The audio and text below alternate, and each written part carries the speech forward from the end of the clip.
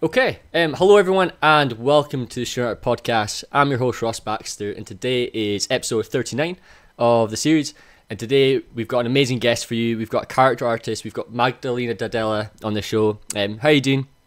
I'm good. How are you? I'm doing great. Thank you so much for coming on. This is gonna be so awesome. I'm really excited for this. Uh, thank you for inviting me. Anytime. Um, if um, if you're new to the podcast, by the way, everyone is tu- tuning in. The podcast is a weekly series where I bring on guests from the game and film industries, uh, from all backgrounds, doesn't matter, um, and it's designed to support you guys, the students. Um, we've just reached over 4,000 listeners, so I really do thank everyone who's been tuning in. Wow. Um, so we're, we're, we're getting up there, we're, we're growing. um, but if you're, if you're new to the podcast, the podcast is, like I said, it's a weekly series and it's live um, uh, on 9 to 10 platforms. Um, so we're on Anchor, Apple Podcasts, Google Podcasts, Spotify, Breaker, Overcast, Pocket Cast, Radio Public, and last but not least, we've got Stitcher. Um, if you're tuning in on YouTube, uh, don't forget to subscribe. It'll be much appreciated. Uh, we're closing in on 2,000 subscribers, so that's super cool. Um, but obviously, like the main thing is Magdalena. So all of you who are tuning in and listening, make sure to go give her a follow and uh, check out social media, which will be highlighted on the screen um, right now. Uh, what, well, once I edit, you'll see it. You'll, you'll see it all on the screen. But um, thank you so much once again for coming on. Um, this will be great. Sure. Sure. So, Let's do this. as always, uh, just like the obvious sort of things. So, just uh, tell us a wee bit about yourself, who you are, and uh, what you do exactly. Uh, I'm a character artist, uh, currently working as a character modeler, creature modeler at Framestore. And before that, uh, I worked at Eidos, uh, Ubisoft for many years, Guerrilla Games uh, on some games, as well as ILM on film, and Framestore before as well. Awesome. In regards to like um, obviously like the podcast, I always like based around student education and stuff. So like like obviously you start uh, you studied um, let me see so a diploma in animation and VFX. Yes, I studied at VFX for one year, so that's a more vocational school. It's not a university. Okay. And before that, I did my uh, master's degree in English literature in Poland. And uh, I was doing a, a PhD on literature when I decided that I don't want to be in academia and changed my mind basically. yeah, no, that's awesome. Because like um, like obviously when it comes to like art, we all have like our different paths and stuff, and Yeah. um, like everyone changes all the time, and um, like that's the main part main part of the podcast is like the different stories, like your journey, and um, like obviously like speaking of like the education side of things, so everyone who's tuning in, I always base things around the same sort of four main questions. Um, obviously, I know you said that obviously you, you, you only study that for the one year, but um, Yes. when it comes to like education, I like to base things obviously around like like what would you wish you like learn, etc. So if you did have to kind of like say if you were at university or you were studying uh, for character, is there anything you think uh, you wish you could have learned, or what like what do you would like to see being taught basically? Definitely basic drawing Mhm. and uh, anatomy skills. Okay. So I would like the basics of how to draw, how to paint, and uh, maybe basic sculpting as well in clay. Mm-hmm. Oh That would be awesome. no, basically that's a great one. Like Yeah. I like that's that's the like I'm I'm really glad um you said that because like there's this kind of um I assume you've heard the same sort of thing, but there's this kind of like trends. I think it's been going for like the last I don't know maybe five years, but it's like there's always kind of this um impression that traditional doesn't matter anymore, Oh, it does. and I think it makes you see things differently. yeah Like I learned sculpting on my own, and I took several courses Okay. in sculpting throughout the years, and it definitely makes you perceive depth differently, and also the importance of detail over the forms, like larger forms. You realize that the detail doesn't really matter much yeah. uh, because with real sculpture you have to s- be able to see what you're looking know what you're looking at from a distance from like the end of the room. You have to be able to see this is the face so what makes it work? Like the eyes are deeper than you think. And very often when you look at for example uh, sculpts that are made in ZBrush and printed they look very flat. Like there is no depth to them. Whereas if you've tried sculpture, you think differently. It makes you appreciate how much depth there actually is in the lips, lip corners, and stuff like that, which you never don't notice if you just do ZBrush. So do you th- do you think that's become like a noticeable like common trend as in like like when it comes to like students do you think there's a lot of uh, noticeable mistakes that they're making uh, because of that maybe lack of observation through traditional media? Yeah i definitely think so yes. Especially for characters when you look at this, the common things that people do. Yeah. Uh, yeah it's it's one of the things that it takes longer to learn if you don't have the basic basic uh, art knowledge. Yeah fundamentals um like obviously like when it comes to like uh obviously like student education and stuff like there's like for for example um i actually went through so i'm actually an environment artist um Yeah. and um but in my final year of university i went through um this sort of kind of phase between characters and environment so i actually decided to do characters for the whole year and Oh, okay. um so I, I, I love characters so this this will be uh, nice and easy so um uh, like when it came to like the my time when i was doing characters um, obviously like my main focus because I was so new to it and I had so much little time to maybe like get to the level that I had to within the year to get the grade. Um, Yeah. My pure focus was purely anatomy, and um, as cliche as it sounds, like so many people overlook the um, like the small things, and Yes. um, it's just like it's so important. Like obviously alongside traditional stuff, is there anything you think when it comes to education, um, like maybe not just art related, but like I don't know, like any skills that you think would also be benefiting? Like, does anything else come to mind? uh, not art related Or, or yes both? i think i think one of the things that helped me being from a completely different field which is literature etc where you have to look through libraries of information quickly like in old books like real books and not just digital information is the the way to find information. I find that over the years having worked with many people a lot of people are unable to find information quickly.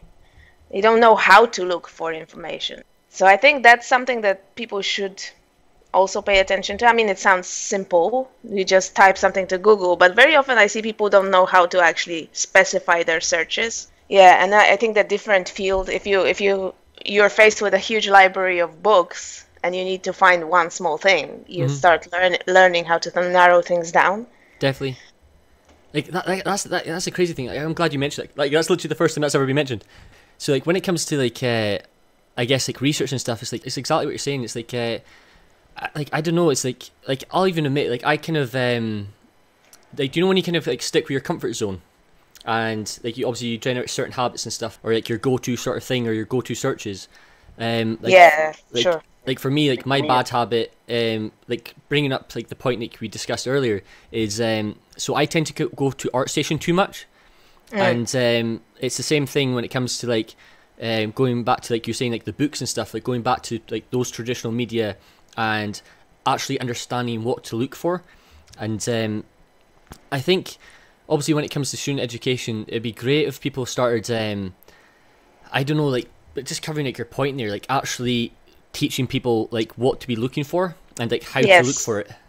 yeah i think so i think it's important Like when it comes to like um obviously like one of the main ones I like to ask is like getting ready for the industry. Do you think there's any common um maybe uh, things that maybe universities should be doing to get people more prepared? I think understanding what the companies actually require of you. So uh, very often I find that schools concentrate on making really nice demo reels to represent the school, so as an advertising for the school, but not as a way to find a job for the student. Yeah. So they want like those uh, uh, what do you call them? Uh, like bigger uh, projects with many people working on them, uh, like films that you know you don't really contribute that much to it, and then you don't have much to show for it. So if if you know that you want to work on characters that maybe like concentrate on making a character that a certain video game company would like to see Yeah. and just do that.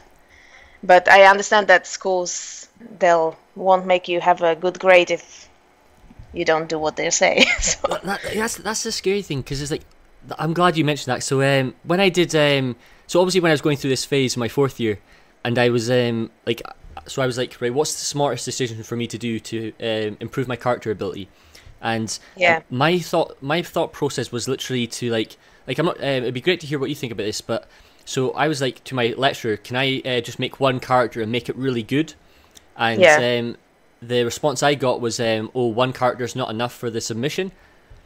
And uh, I was like, because I was always purely thinking about getting to the right standard, and Yes. uh, instead of just like firing out tons of artwork. I'm not sure what your thoughts are on that. Well, the thing is, like, you want to practice as much as you can, right? Mm-hmm. But also, if you're making one character and you're trying to make it really good, then you have to learn all the techniques that will make it good. Yeah, So at the same time, you're. I think it's better to have one really good character than ten really bad ones. Mhm. It just makes more sense to me. definitely. Um, awesome. So like, uh, obviously, like, there's like so many things when it comes to like, uh, like character art that is like, uh, I guess essential and stuff. Like when it comes to the portfolio, like you've got your your software standards and stuff. But has there been anything different that maybe you realize that you weren't taught through your studies that is actually like a trend now? Ah, a trend now. Yeah. Well, maybe the cloth. Well, nowadays because we use Marvelous Designer so much, Yeah. In in those days you didn't think about clothing in a way that it's actually sewn and made. Mm-hmm. Whereas with uh, with Marvelous Designer, you actually have to think about how clothing is made, Yeah. from the flat to the to the clothing on the character. So that's a bit different, and you wouldn't think that having like knowing how to sew clothes would be useful. Like, like that's the that's the crazy thing because like obviously Mar- marvelous designer is uh isn't like like so I, I I've not I've never used it but um like one of my uh, good friends uses it isn't like some sort of like UV layout thing Yeah, well, basically, it's basically what the tailor would do. You you cut the cloth into pieces Right. and then you sew them together.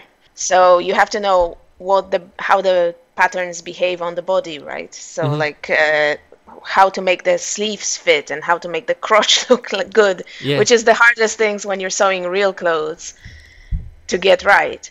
No. Yeah, it's it's it's a science of in its own right. I mean, there is people who spend years learning how to sew clothes, and we have to learn it quite fast for characters. like speaking speaking of clothes like this so I was actually listening to um uh so like Flip Normals uh, the Flip Normals channel and Yeah. um so they were discussing about uh like obviously like marvelous designer is so quick like once you learn it like supposedly Yeah. it's like it's not it's actually like quite a very uh, easy software to learn or it's like obviously there's like the like what we just discussed there there's like the whole sort of idea of uh, understanding how things are made but in, in regards to like how much easier it is to make it rather than sculpting in ZBrush Yeah, well, the thing is, it's very easy to learn, but it's very hard to actually make something look good right okay in it. So very often the clothing that people make in Marvelous Designer looks, and that's a problem I had for a long time actually. It looks too thin. It looks flimsy. It Yeah. doesn't look right. It doesn't have the weight of real clothing. Even if you apply like uh, modifiers to make it a, a wool or something, it still looks bad. Mhm. And you have to understand that real clothing is several layers of fabric. It's not just one fabric. It's fabric on top of fabric, and if you have a lining, that fabric on top will behave differently, right? It will hang differently. So you have to think that way. So it's again back to how actually clothes are made to make it look like real clothes and not just uh, simulated thin tissue that a lot of the clothing made in Marvelous Designer looks like looks like that yeah sticks that sticks to the body in, in weird ways. So yeah, definitely it's easy to learn, but then to make things look good is another matter. it's a whole other uh, ball game completely different Yeah, exactly. like that that's the crazy thing because when it comes to um like the whole character idea is like so to me personally i'm one of those people that uh like so i love zbrush so zbrush is like my favorite software and uh we could talk about zbrush forever um but it's like i like i would always i i would always be one of those people that just want to make everything in zbrush so Yeah. would you say to like the students who are listening in now would you be like um, it's better to maybe learn the ZBrush sculpting for clothes in ZBrush rather than going to Marvelous first. Oh yeah, definitely. I definitely think that you should still be able to sculpt clothes because even with some like uh, the last project I worked on, which was uh, Shadow of the Tomb Raider, Okay. the art director actually hated the look of Marvelous Designer Right. on Lara Croft's main outfit. he just didn't like the way the wrinkles formed and no matter how many times we did it he was like no i don't like this i don't like this i want the wrinkles to be exactly like the concept in those places so the only way is to basically sculpt it by Yeah. hand. So you still have to know how to do it. Because like I, I don't know like about um like character art in general. It's just that so the reason why i always bring up like obviously um there's a lot of cliche questions that i like to ask. I don't know i think they're the most important because like they add the most value because like oh, everyone always like asks like the same like same sort of thing. Like uh Yeah. like software. Like i know your pipeline is so you use um uh i'm pretty sure so it's zbrush substance and then marmoset yeah for personal projects definitely right uh, at work i also use maya a lot is there any sort of um i guess like when it comes to like um just like your workflow is there anything that um like's helped you um along the way get um a lot better or is there like or have you just always like to keep it kind of like simple like just like the ZBrush, the Substance Painter, or Marmoset, or you always just done the same sort of thing?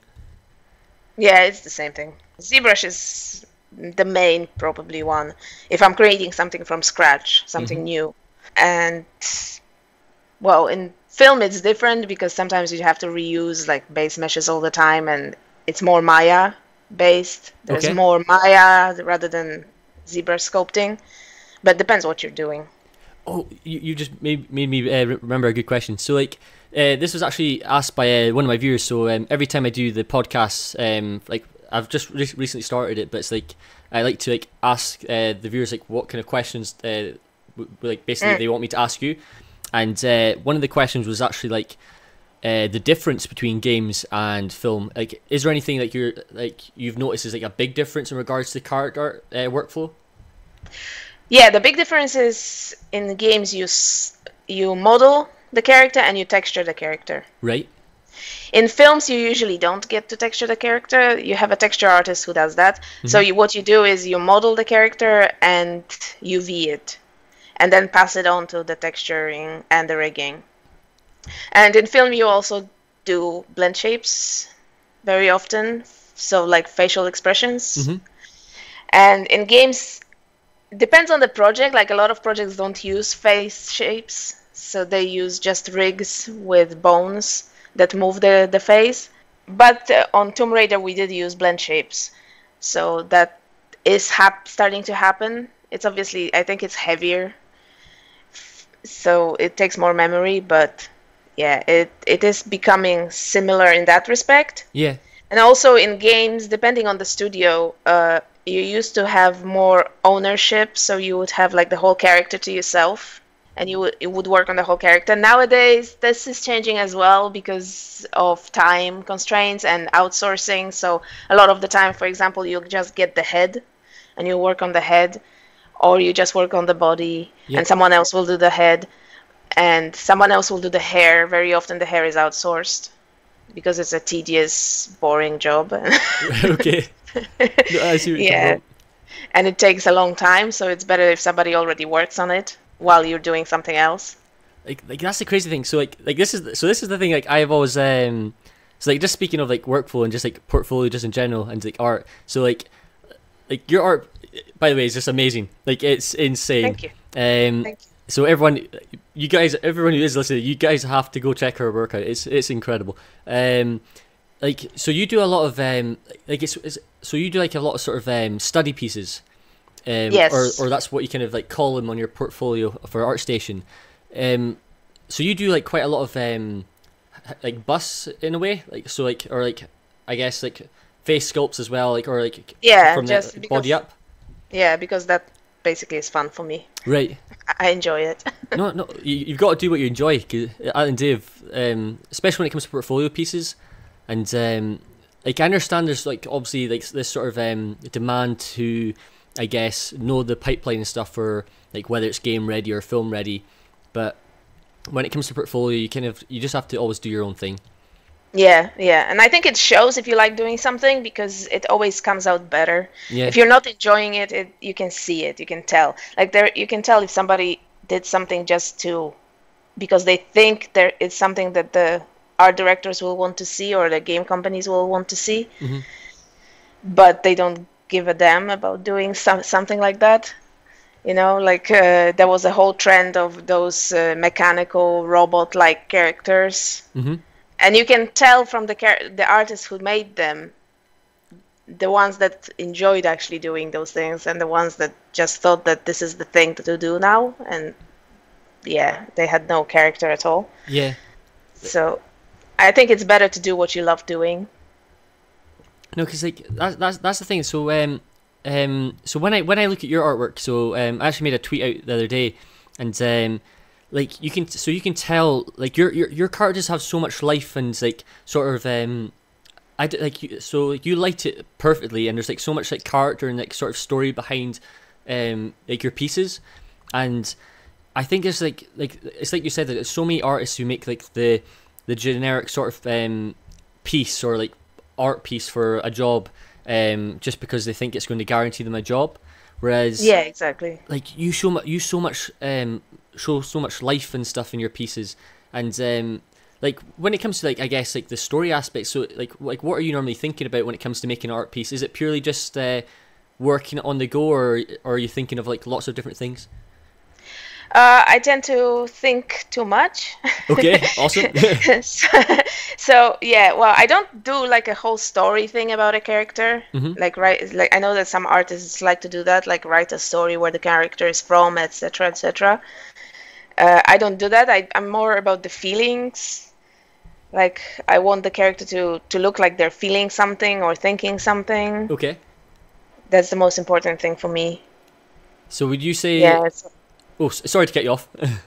No no no go ahead. I, I was just gonna say, so like, do you like you said earlier about like the blend shapes and stuff?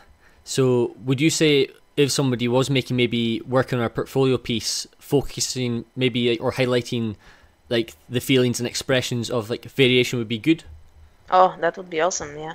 Because like like I, I know obviously um like every time I bring on the I guess on the podcast like I know obviously like they're limited to what they can say and so forth, but it's like does anything like stand out to you personally um in a portfolio? Is like is there anything that you'd be like wow that just looks awesome. I like that's um definitely like maybe a job ready um candidate oh yeah uh, i definitely would say expressions okay. Because you, you don't see that a lot.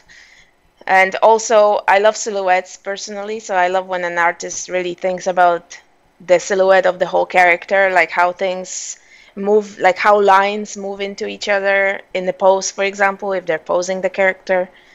Uh, i can understand why people don't pose the characters it's a pain. Or just like have the flat one. Yeah if you don't want to rig it uh, the whole technical part of it is annoying with zbrush you can pose it but it also takes a long time especially if you worked on the whole cloth and everything in the default pose and then you just have to basically break it and resculpt it to, yeah. to pose it. So i can understand why people don't like doing it but if someone does go that extra mile then yeah it stands out from the crowd definitely. So do, do you know when you're sculpting? Are you um so do you always keep in symmetry or do you change it up literally straight off the bat Uh, I usually start like when I'm, let's say, for a face, I'll usually start with symmetry, and keep my eyes symmetrical as long as I can. Mm-hmm. And I like to break it like halfway through. awesome So de- definitely break symmetry on the faces always because faces are never symmetrical. Even when you look in the mirror, you can see it. yeah it's all, there's always that slight difference Yeah, exactly. One one more droopy eyelid and stuff like that. The nose slightly crooked. Yeah Uh, yeah, even like uh, I have two live casts at home from uh, two actors. One is like an older lady, and one is Tom Cruise. right And they say Tom Cruise's face is so perfect. It's so not so not symmetrical. It's totally off.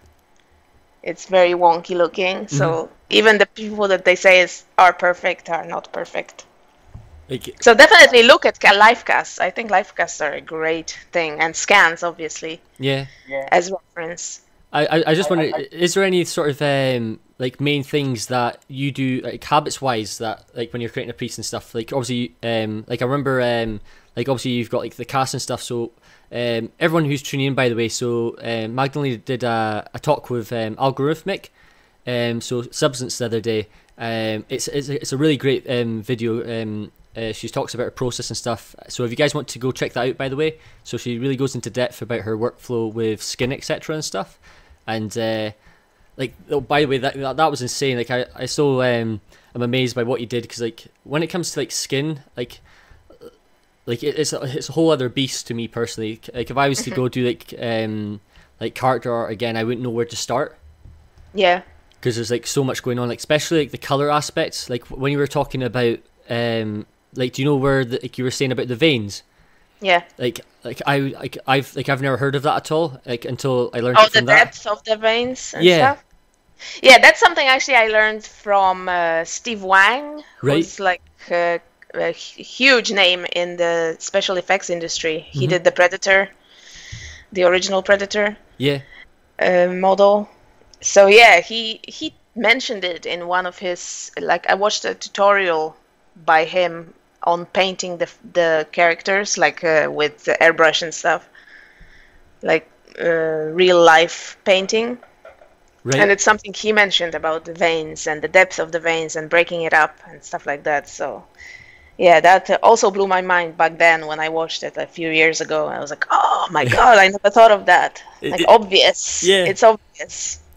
It- it's always it's always the small things that you're just like you, you start geeking out out about. Because like when I saw you um like I don't know uh, what you did but it's, do you know when you were va- uh, varying like the the the normal map of like the skin texture?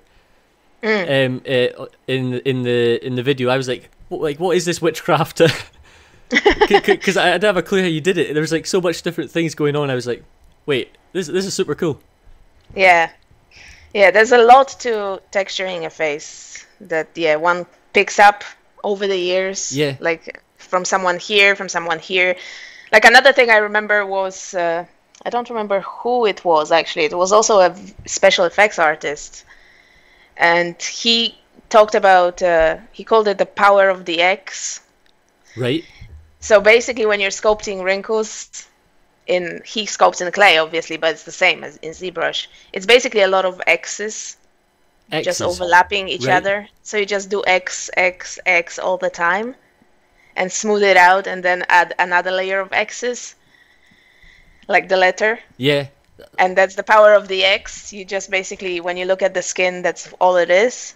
wow And I was like, oh my god, why didn't I think of this? So obvious. Yeah, but that, that's the crazy thing. It's, it's always it's always is the small things that you tend to overlook, and um, Yeah. like like that's why like everyone always says like the well obviously I know this isn't a small thing, but do you know when everyone talks about like how important anatomy is? Like uh, Yes. like everyone always kind of uh, like for example um, one of my favorite artists is uh, Glauco, and um, yeah, it's amazing. he's he's insane. And um, his one of my favorite pieces is his uh, necromancer character. Um, and um, it's like obviously like so when he's doing a talk and stuff, he always says like obviously like anatomy's key and stuff, but. Um, I always get distracted by like the assets and stuff, but it's the thing that the thing that makes the assets look good is the anatomy, and Yes. it's like everyone always still kind of overlooks it. Like obviously like um, students, I guess, uh, like I don't know, like it'd be great if um there was more teaching on the side of anatomy because like when I was in uh, university, like we had like um like what we were discussing earlier, like life drawing, but Yeah. it wasn't really um like in depth. Like it'd be great. Like speaking of what you said about earlier, like if I had a class about clay sculpting, oh my gosh, that'd be so awesome! Like actual traditional clay. Like I just, I just, I just think there's more to it because there's just not enough. I guess. Like Yeah, the thing, Yeah. the thing with uh, with live drawing, live drawing is awesome. I love it. yeah, But but usually it's just you drawing and looking at the model, but nobody actually explains to you what you're looking at. Mhm.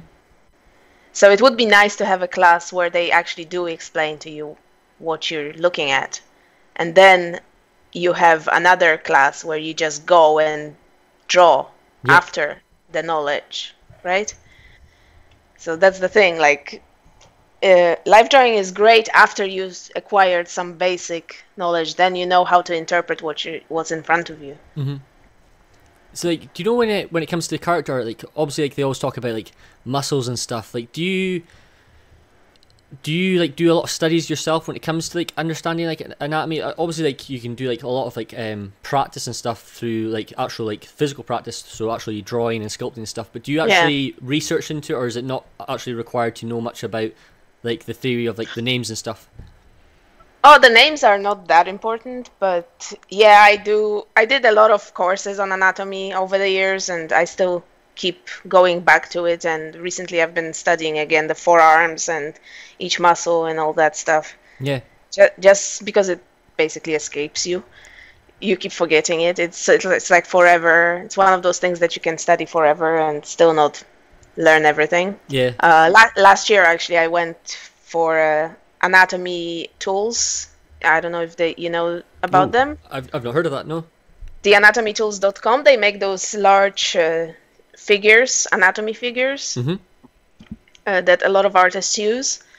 They're like uh, one meter high uh, full body figures. Wow, right, okay. yeah i love i love them. They're amazing. But they also have uh, courses in uh, las vegas which is like anatomy courses where you basically look at the real model and sculpt them in real clay now that's now that's awesome. That's what we should be getting. Like, oh my gosh, if we could get that everywhere, that'd be great. Yeah, Andrew Cawrse, who's the head of the anatomy tools, he's absolutely amazing and he has so much knowledge about anatomy. And I did the course in Anatomy in Motion where we got to sculpt uh, one of the like Cirque du Soleil artists hanging upside down in a split pose, Wow, right, okay. which was super difficult. But also the way he taught it was basically he taught us observation first and sculpting later. So when you're looking at the model, you you're basically uh, showing courtesy to the model. You're using them by observing first, and then once the model takes the rest pose, then you can sculpt what you observed, rather than being concentrated on your stuff and actually not looking at the model when they're there. So, and he was explaining like what was happening on the model's body when the model was taking like doing the pose. So, what the hips were actually doing, what the chest was doing, and all the basic anatomy in actually uh, applied anatomy, basically. yeah. So th- that's pretty amazing. So it's like basically to understand. So, so the main focus is so obviously like there's all these awesome different poses and stuff, but it's Yeah. to, it's it's to understand. So you're saying it's like to understand what's actually happening. So what's going on basically. Yes, exactly. Yeah, exactly. Right. Because like. So I oh, think that would be awesome to have, like, even in a simple standing pose, to have somebody first explain what happens in a pose, like what the actual anatomy is doing, and then you can go on and draw it. Yeah, that would be awesome in education, but that rarely happens. because like well that's the thing so like when it comes to like um like obviously like there's a like i know that like, there's still like um like there is good courses out there. And like the like for example um like the Gnomon etc um Yeah, I- Scott Eaton, oh. He's got good horse. he's insane. He, he's he's amazing. Um did you, i'm trying to think who's the who who's the i don't remember the guy's name but there was like a guy who did a sculpt of scott eaton. Did you did you ever see that? Oh, Ian Spriggs. what what's his name Ian Spriggs? right okay I, like like, Like like a, a portrait, you mean, with Yeah. a skull? Yeah, yeah, I worked with Ian before. Yes, gee whiz like that like that was crazy as well it's really good. Well, that's like that's a good topic as well to uh, to uh, to bring up because obviously speaking about the idea of um, I know we're kind of going off tangent in regards to like, uh, like I was talking about education, but uh, I always like to go with the flow because I think it's the, uh, it's always the best thing. But um, when it comes to like the, the um, so I'm not sure if it's if it's his website. So Scott has um, like he he does like photog- photography and of- Mm, yeah. is it like ba- like I'm not sure is it ballet?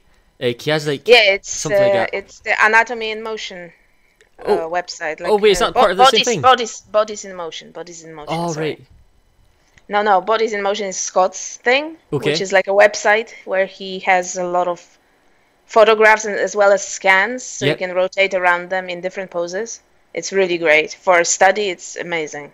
Because like when it comes to like the whole sort of like um I guess like obviously we talk about trends and stuff. So when it comes to like when I think about the the typical um student, I always think um well based on my own experience when I was at university, like everyone was always making um something either very stylized or very cliche, maybe like a soldier or something.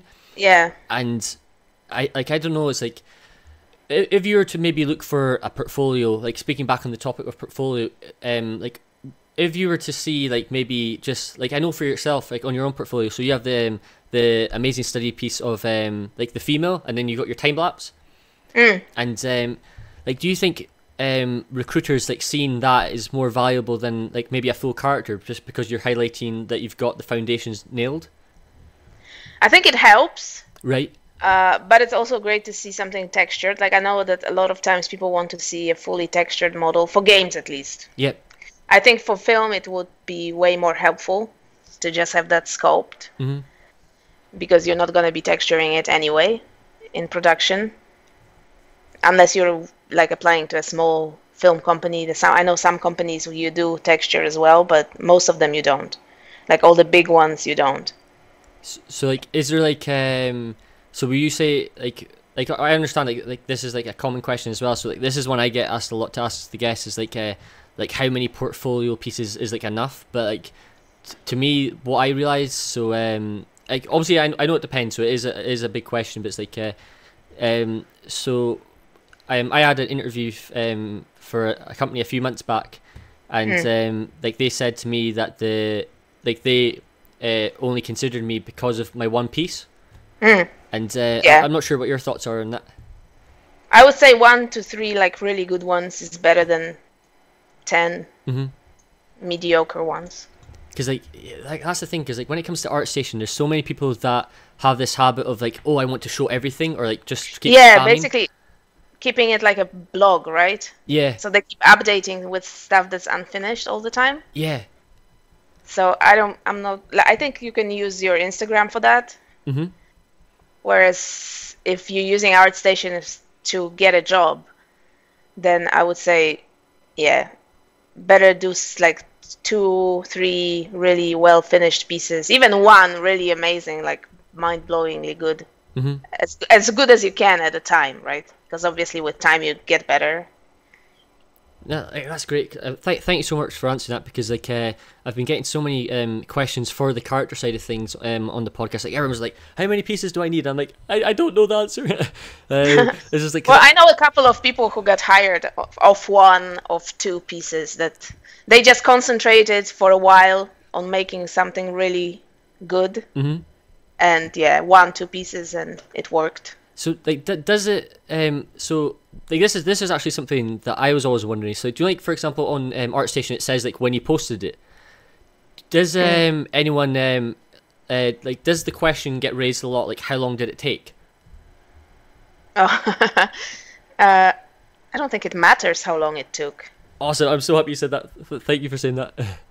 No, really, because like obviously at work you just work on that and nothing else. But if you're just making a personal piece for a portfolio, it can take months, it can take weeks uh, or days. It depends how much time you have, right? yeah. So everybody knows that you're just working on it in your spare time. Even if you're a student, you you don't have a full day to just do that. Mm-hmm. So I don't, yeah, I don't think, and you you'll get faster with time. I think it's better to concentrate on making something good than being fast and work, worrying about speed. I don't think sp- speed is important. I, I'm, I'm glad you said that because like so many people keep um like when I was in uni, everyone always panicked about um like the whole idea. Like obviously, like obviously when you go to university, you're like, oh, I want to get a job, I want to um be ready and stuff. So like they try and force things out, and they have like that sort of um I don't know. th- They're, they're they're stressing about things that are out of their control. Yes. Like obviously, like you said, it takes time to get better, and there's there's no like everyone who's listening, like you have to just um trust in time. Like be patient. Like patience was the best thing I ever learned, and uh, Definitely. it just it like I know it's hard, especially Yeah. nowadays when you see artists who have been working in the field for like 20 years, Mhm. just just spitting things out every day, or very often, like every two weeks, they they have a full character. But if you're just starting, there's no way you can do that Yeah. and do it well. It's Im- impossible. definitely and like like for example like speaking of like just like the whole idea of time like uh, so for example every every time well obviously it, ca- it t- does depend on the course so like your your usual course is like th- uh, three to four years um on average um i actually have like an interesting question so like my personal uh, well i'll just ask the question just to like, let you see see what you see um so what's your thoughts on master's degrees? so I personally think this is. I know this is a bit harsh, but I think they're pointless. Well, I think they're pointless if you don't want to work in the academic field. Right. I think they have they have a. If you want to work at university, then it's useful. But otherwise, like if that's not your goal, then I don't see a point of doing a master's degree. Yeah. It might help you later on, though, with a visa, if you're trying to work outside your country. Okay. Yeah. I know definitely. that the US is very hard to get a job without university degrees. So Mm-hmm. I don't know if bachelor's to master's will make much of a difference. I know it helped me when I was trying to get a permanent residence in Canada Mhm. because you got additional points for a master's degree. Like So yeah, like, it's just well, it's just the fact it's like, um, to me like this like this is the so obviously like, the main reason is obviously like sh- the like student education like that's the main topic and stuff and uh, the one thing I've always kind of um, like I know this is always a de- debatable thing but I've always kind of struggled with the whole sort of uh, like all the the theory side of things in the sense that like all the written stuff yeah, because I I just don't see the value. Like, like obviously I understand that like it's great. Like, so for example, when I was in my fourth year, I did um, um, like I master studies of like Mi- Michelangelo and so forth, and uh, like I love that stuff. Like I love um, the true old uh, masters, and uh, I completely understand that sort of thing. But like if I had to like um like say if I was a character artist and I was like like what's going to be the best sort of course for me, it'd be like getting rid of like the whole idea of grades. I know that's like Yeah. a big thing, but it's like uh, I'm not sure what your thoughts are on that. But like to me, I just like I just don't get the whole system. yeah. The thing is, like with art, unless you, I think that the master's degree makes sense in art only if you want to study history of art. Okay. if that's what you're interested in, but not for practical art application. I mean, it's Mm-hmm. it's of no use at all for you if you have a document. Like, who cares? Yeah, it, But it means nothing. If if yeah, if for you you want to be an art historian as well as an artist, then it makes sense. So it depends on what you want to do. So like obviously when it comes to like uh, like bringing back up the topic of like learning resources and stuff, um, is there anything that maybe you recommend for students to learn, whether it's uh, online courses or just websites or stuff? Like what's helped you over the years? Uh, definitely Scott Eaton's courses. Mhm. I would totally recommend them. Uh, the face one, I had some, yeah, revelations during that one when I when I took it. I was like, oh my god, Just everything is- clicking. yeah, things start clicking again. Uh, so yeah, I definitely recommend his courses. Uh, there's so much now on Gumroad that is very misleading. Like a lot of the stuff is just speed sculpting or stuff like that, which is of no use at all. I think. yeah. I mean, it makes sense later on when you just want to see how other artists do it, but it's not really learning. You, you don't learn much by watching somebody else sculpt, I don't think. But yeah, Gnomon has good stuff still. And over the years, it, yeah, they, they were like the main source. So, so that's your your two kind of go to sort of people. So Scott Eaton and then And uh, Gnomon. YouTube. YouTube. YouTube has tons of free stuff that you don't even have to pay for. What what what sort of channels do you normally uh, go to? I just search for what I'm interested in. So I was just looking at stuff from Substance Designer. I just typed in Substance Designer and Mhm. went through several videos. But uh, there's this guy, uh, Pavlovich, I think he's called. Right. Okay. Uh, he's a ZBrush artist. Yeah. and he's doing like really good uh, videos on the basics of ZBrush and all the mechanical sculpting if someone is interested in that. I think his name is Pavlovich Mike. Would you would you be okay to uh, so oh by the way everyone who's tu- tuning in um the I will be sharing all the links um uh, at the end so uh, um, if you're okay with that as well uh, Magdalena are you okay to like share any links if that's okay Sure.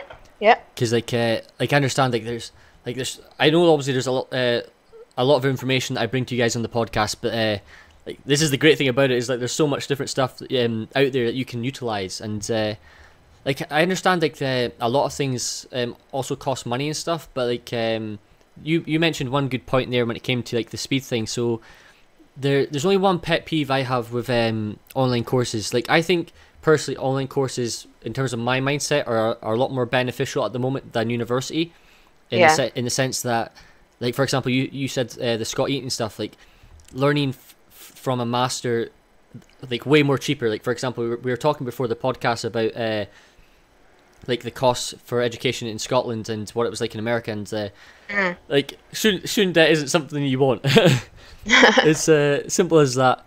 But the the one pet peeve I've always had is that um, do you know when they I, I think it's like well it's exa- exactly the same but when someone's doing like a like for example I was um one of my friends was doing a, a environment art course and the person was um doing a time lapse of the full process in ZBrush while talking over it and uh I, like I understand for some people like there's some value in that but to me there's just uh it, I don't know it just doesn't it doesn't work as a teaching thing for me Yeah, well, it depends what you want to- want to learn. If you just want to learn ZBrush, yeah then you, you're not gonna learn it yeah just by looking at somebody do something very quickly, right? Mhm. Because they're not explaining how they did things. They're just explaining how what they were thinking more. yeah So it's yeah, it's different. It's, it's always like the whole idea of like the why. Like so many people um obviously like like like for example i've been a culprit of this myself. Like um do you like when you kind of uh, when you're uh early on to learning something you, you try to copy thing like minute by minute? Or like, Yeah. just so you can actually get things get things to click? But Yeah. i've always realized though that that doesn't like well it, it depends obviously like how much time you're putting in but it doesn't like pay dividends over the the long run. Like it just doesn't um like it, it, you're wasting so much time like doing like um the actual work itself is so much better instead of just uh going right he's rotated he's the left clicked over there it just doesn't work No, it doesn't. I don't think so either. At least it doesn't for me either. yeah so like Yeah. I think it's better to have your own project and you're like, okay, now I'm stuck at this point. Mhm. How do I do it? And then you just look for ways of doing, getting out of the hole, basically. Yeah. Or ask somebody else if you can on how they would approach it. because like like well, that, that- that's the thing Cause like when it comes to like uh just work workflow in general i think so many people have to kind of um focus purely on the idea of pleasure i, I know it sounds a bit um, cliche but it's like th- th- like a lot of people always like ask people like how do you do things and, and i get that like i understand it's important like obviously like asking questions is the best thing you can ever do and you, you've, you've got to ask questions like never feel afraid to ask questions it's the thing i preach every time on the podcast but you have like the only way you get better is through just actually doing the work Yeah, and like just have, constantly doing it if you know what i mean yeah, exactly. so The only way to figure, you have to solve your own problems. You're still gonna yeah have issues. You're still gonna have like uh, moments when you're like, "Oh my god, I don't want to do this anymore." You just have to go through it in order to learn. It's no other way. Yeah You can't you can't just absorb somebody else's knowledge instantly and So, so like when it comes to like I guess um like I still got quite a few more questions. I, I, so, I'm so sorry I've been bombard, bombarding you with so many questions. no no go ahead. Uh, it's just like you cause so ever since I started this sort of uh, uh series uh, um, at the start of the week where I get everyone to ask questions, I was just like. There's so many questions I don't know what to do. like I couldn't handle it. There was just too many of them. I was like, now I understand. it's just oh, it's crazy. Um, do you? Uh, so when it comes to character is there anything that you kind of uh, do differently? Um, I know that this, this is a bit of a random one, but um, so obviously like everyone kind of does like your generic generic sort of workflow. But is there anything that you've uh, through the years of practice that that maybe is a bit random that you do? I know it's a bit. Uh, you can pass, it's okay, but if, if anything does come to mind, just uh, let me know. Not really. Okay, No, I don't. I can't think of anything. that's, that's Different. all right. It's not a problem at all. Yeah, I think I'm just like a, I, I do the same stuff that others do. because like I, I think it's just like there's so many people like uh, think that like when you're like artists like yourself when you're when you're that good like some people are like like where's this magic like what are you doing differently but it's just No. it's just practice Yeah, practice and also it's you, right? So Yeah. the way you think is always different than others. You're you, so just think the way you think, Mhm. basically, and use that to your advantage. I think. awesome um so one of the, the big questions I like to uh, so this is this is like the debatable question that I asked on the podcast and uh, But the reason why I, I always ask it is just because um, it opens up the floor and it gets um, like it's nothing like crazy. But I always like, like if you had to choose between like online courses or uh, university, would, would you choose one or like what's your thoughts on the two? Ah. this Well- is the big one. there is good things about university i think it's one of the things is the people Mhm. so you basically meet people who will later on work in the industry so you're building a network already even though you don't think about it? Uh, yeah i think that's the biggest advantage of a university. Definitely. and also just having fun like when you're at university you just have time to explore things you're not pressured. Whereas if if you don't go to university and you have to find a job then it's it's harder unless you really like you know you have plenty of time you can s- still be in your at your parents house and you just can watch videos online hmm then yeah, it's awesome. And if you can co- maybe uh, with the thing is with online, you can also connect with artists that you admire and ask them questions, so you can still network in a way. And if they notice you after a while, you can, you know, be on their ra- radar. Yeah, because like I- like I always like to ask this like I, um this question because like I, like I always like there's always like a trend and stuff. I do get um obviously a lot of the same um answers and stuff, but the reason why I always ask it is because like it's just it's one of those questions that everyone kind of um I guess like they always want to know, and um, particularly from like different fields. Like I understand that different fields have or different artists have different perspectives on like whether you're an environment artist, whether you're a character artist or a concept artist, and um, it does depend on like what materials out there online. Like Yeah. um, like I know there's uh, like for example me being an environment artist, um, I personally think environment art is maybe like well I don't I don't know maybe it is deba- it is quite close with concept art, but I think there's so many environment artists out there. Like that's why there's so much resources available for us. Yeah, Whereas like for characters, like I, uh, there's still quite a lot. Because I, I, I don't know because obviously like um I'm I, I'm a rookie in comparison to you like when it comes to character I, I don't I, I know nothing but it's um like I The thing know is, like, when I was starting myself, like from my own experience, Mhm. uh, because I studied something completely different, and I started when I was quite old, as they say. Like I was 20, 24 when I started to get interested in 3D and Okay. started learning it at 26. no, that's awesome So I had no idea where to start. That's the problem. So I went. Yeah. I wanted a school in order to structure me and direct me in a in a way, like tell me exactly what the different what texturing is, like how to UV things, because otherwise I, I was looking at the internet and there was too much, and you don't you you just get pulled in different directions and you don't know where to go. yeah So I think a school is also good in that way. Definitely. Depends on what school you choose. I mean, university is another thing because it's way longer and it will definitely show you things from different, also of different directions. But a school like VFS, for example, which is one year, you don't really learn the artistic part of it, but you get to learn all the technical stuff. Mhm. So you get to try some animation, you get to try some uh, texturing, some modeling, some VFX, and make up your mind what you actually like. I'm so, I'm so happy you said that because like uh, um like one of the main questions is like is like fundamentals and stuff and like so many people like when they are getting started like you said like they don't know where to start and uh it's like so if you had to like say like so I said to you earlier uh, before the podcast so uh, the one question I like to ask is like say you had to like do everything again right? So say you had to like go back to square one. Is there anything that uh, you'd maybe change to make your um your journey more smoother Uh, I think I wouldn't go to a visual effects school, probably 3D school. I would probably Okay. go to some something like uh, Florence Academy for a year and just to learn the fundamentals of sculpture and drawing right first, and then go do a 3D course, just to learn the basics of 3D, like how to open the 3D software, which I didn't even know. like, like, all, all oh, the small things I could I could open 3ds Max and make a sphere. That was uh, all I, I could do. I was really proud of myself at that point. Yeah, it was amazing. the big skills. we all we all have to start yeah, somewhere. exactly. Yeah, well, yeah, exactly. Especially if you're from a different field completely, like literature and 3D are two different things. Yeah. No, that's great though, because like, uh, like so everyone who's tuning in, it's like, um, like like I said right at the start, it's like everyone's journey's different, and um, you just have to keep working on and trust in time, and like using Magdalena as an example, like her her artwork is is amazing, and it's just down to um, being patient, trusting in time, working hard, uh, but also working smart, like really thinking about what can you do to give yourself an advantage to get to that next sort of step. And Yeah.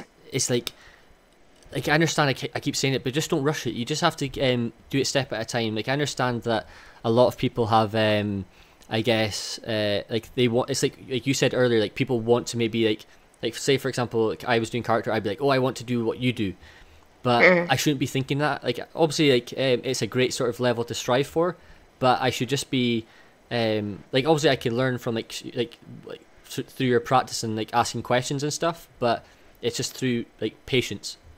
Yes.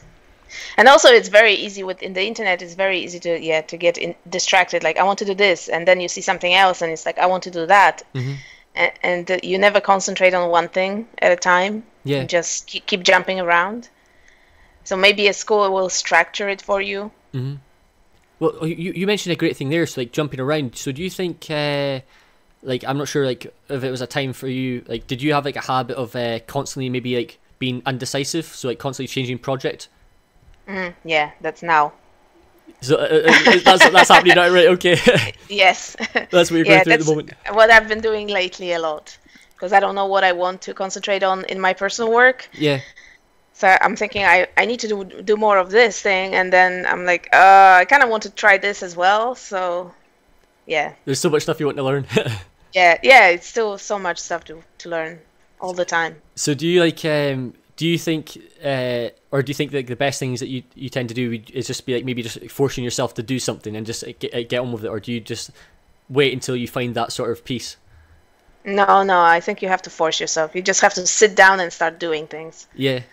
and that's for, at least for me, that's the best way. Just sit down and start, and then it goes. But if you don't start, yeah, you'll never get anywhere. Awesome. No, but thank you so much for coming on the podcast. Um, it- it's been so awesome having you. Um, It's a pleasure. I, I'm not sure. Uh, before we finish, is there is, is there anything uh, random or uh, I like to tend to like open up to the guests? Is there anything that uh, you'd like to bring up? Uh, anything in general, or is uh, or all good? Is there's there's no pressure? No, I'm I'm good. I just say like do what you love to do. Yeah. Try to figure out what you love to do and just do that. Awesome. And eventually you become really good at it and people will notice what you're doing. like th- thank you thank you once again for coming on because uh, like once again everyone who's choosing uh, tuning in uh, make sure to go give her a follow check out her work and uh, like I said so um, all the links will be in the description below uh, so make sure to check them out um, the the next podcast we've actually got a podcast another podcast today so we've got uh, Lincoln News coming on the show um, but uh, once again uh, thanks so much for coming on it's been awesome having you and uh, Thank you. Till next time we will see you guys later bye for now Bye bye.